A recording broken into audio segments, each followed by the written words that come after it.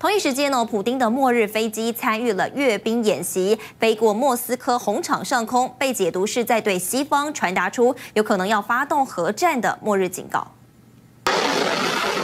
乌军海王星飞弹再度出击，传出六号上午击中了黑海舰队巡防舰马卡洛夫海军上将号，造成严重毁损，目前漂浮海上等待救援，但消息还有待证实。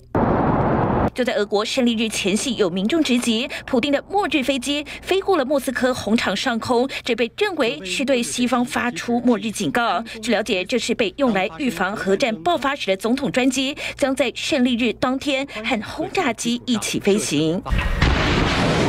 同一时间，俄国太平洋舰队在日本海进行新型反潜飞弹演习。外媒分析，这是为了牵制日本和西方国家对俄国制裁的最新行动。忧心俄国会在九号胜利日当天对乌克兰正式宣战。基辅市长警告，未来几天乌克兰各地可能会遭到轰炸，呼吁市民待在室内。